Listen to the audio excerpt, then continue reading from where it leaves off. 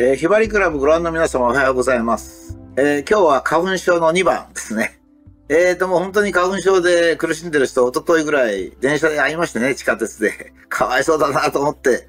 解決するの簡単なんだけどな、まあ簡単っていうか、原因ははっきりしてますからね。原因はまあ杉とかヒノキのようにですね、人工的に、人間が人工的に植えたものっていうのは、人間が処理しなきゃいけないんですね。っていうのは植物ってのは動き回ることできませんからね、樹木は。ま、植えられたところに生えるしかないし、年取ってもなかなか死ぬっていうことが難しいんですね。動物のようにご飯食べなければ死ぬなんていうんじゃなくて、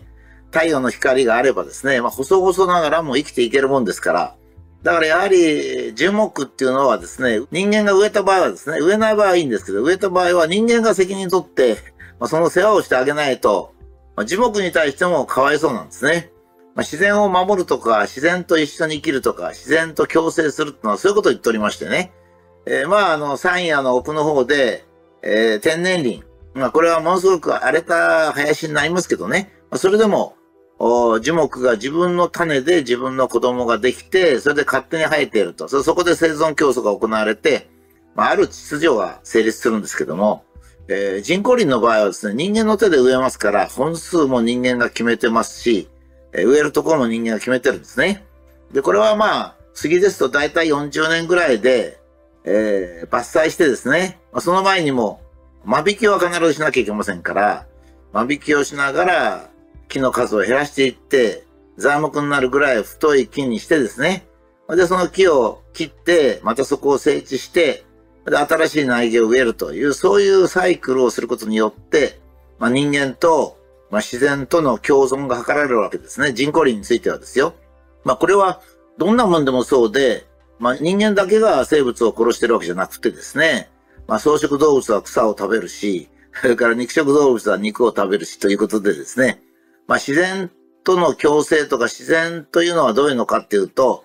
ま、お互いに、まあ、利用しながら、かつ命を取りながら生きていってるっていうのが自然なんですね。ですから、まあ、杉とかヒノキの場合は、まあ、30年、40年のところで、やっぱり植林した人間が責任を持って、杉を切ってあげなきゃいけないんですね。これが、まあ、自然の摂理というものなんですね。えー、そうしますと、杉はですね、安心して子孫を残すことができるんですね。で、自分はお役に立つし、子孫も残るということで、また、人間が杉の苗木を作ってですね、それでこう植え替えると。まあこれは米、稲なんかも同じですね。稲も、え、稲の米粒はいただくんですが、えー、まあ、翌年の春になりますと、苗床を作って、稲の苗を植えて、それで今度また稲を育てる。まあこれをもう、まあ、共存、共生ですね。まあの、よくあの、自然が大切だと言ったり、まあ、自然保護団体の方なんかは、えー、まあ、自然との共生とか言いますけども、その共生っていうのは具体的に言えば杉を切ることなんですね。その、切ったらかわいそうだとか、まあ、かわいそうなら人間が死ぬしかないんですね。まあ、人間はご飯を食べるし、魚も食べるしですね。大豆も食べるわけです。肉も食べるしですね。ですから、まあ、本当に、えー、他の生物を殺したり食べたりしていけないと思うんだったら、もうそれはもう自分が死ぬしかないんで、まあ、それをごまかして生活するってあんまりいいことじゃないんですね。で、今のこの花粉症っていうのはね、あの昔からあったわけじゃないんですよ。例えば江戸時代とかそういうのはまあ特殊なね、体質の人はおられますから、まあ、例外を出せばいくらでもあるんですが、まあ、明治になって大体日本の人口は4000万人。それで、えー、杉とかヒノキも大切なものだったんですね。外国の樹木を買うという時代ではないので、まあ、日本人は日本の樹木から家を作り、家具を作り、紙もですね、紙をすいて作ると。まあ、そういう文化だったもんですから、まあ、自然と一体となってやってきましたね。で人口は大約4000万人ぐらいですので、まあ、いよいよやっていけたと、まあ、いうことですね。まあ、37万平方キロメートル。まあ、その頃は森林面積大体3分の2っていうことで、えー、日本人も自然を利用しながら生きてきたわけです。ところが、まあ、戦争で忙しくなったり、家電製品が発達しましたりして、まあ、人口が1億2000万ぐらいになりました。で、まあ、昔はね、えー、東京都でも武蔵野の森というように、東京都の中でも林とか森がいっぱいあったんですけど、まあ、それはみんな切られてしまってですね、今では宅地化になってますので、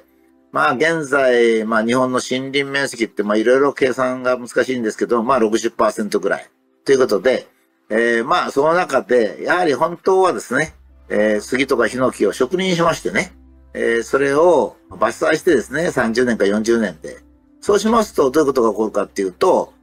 杉も安心して、えー、伐採されますので、えー、花粉なんかを作ってですね、それをばらまかなくてもいいわけですね。ところが、戦争が終わって、まあ、日本人はすっかり、なんかヨーロッパ文化に毒されたのか、なんかヨーロッパもそうではないんですけどね。なんかこう、もう、杉とかヒノキはいらないとかですね、外国から買えばいいじゃないかとかですね、めんどくさいとかですね、まあそういう風になってほったらかしてました。そうしますと、まあ戦後50年ぐらい、まあ50年っていうかもうその前に植えた木もありますからね、戦後30年、40年経った時に、もう杉はたまらずに花粉を、あの、出しますからね。もうとにかく俺たちもう死ぬから、早く子供作んなきゃ、つって花粉を出しますからね。それでこれの花粉の濃度がすごく空気中に花粉が増えて、それでまあ敏感な人が花粉症になるということでかわいそうなことが起こったわけですね。ですからもう解決策は簡単なんですよ。簡単っていうか当たり前っていうかですね。それは当たり前とこに書いたんですけど、それは当たり前のことで、まあ、杉を自分たちの手で植えたんですからね。ですからそれは刈り取らなきゃいけない。えー、それでしかも、まあ、ここにも写真ちょっと出したんですけど、この頃間引きをしませんのでね。細い杉になってあんまり利用価値もないんですよ。だから、買ってもね、お金にならないっていうところもあって、もう最近ではお金だけですからね、自然との共存なんつってる人がお金っつってるわけですから、また困っちゃうんですけどね。だけどこの際ね、我々はやっぱり祖先が杉が必要だと思って植えたんだから、やっぱりね、ボランティアでも役所でも何でもいいですけどね、税金でもいいけど、やっぱり少しずつでもね、毎年少しずつでも花粉が多く出る杉の林からですね、やっぱり切っていった方がいいんですね。これにはもっと難しい問題があるんですよ。実は、この後に説明しようと思いますけども、農林行政っていうのが戦後少しね、えー、曲がっちゃったんです。この曲がっちゃった理由を林野庁の責任だけにできないところもありましてね。まあとにかくいずれにしても日本人全体の、なんていうかやり方がですね、上がっぱなしになったんですね。それからまあ紙のリサイクル運動なんかで、一時非常に変なことになりましたね。山の木は切っちゃいけないと 一本も切っちゃいけないなって話になってですね、そういったその曲がった環境意識っていうのがですね、余計に現在の花粉症を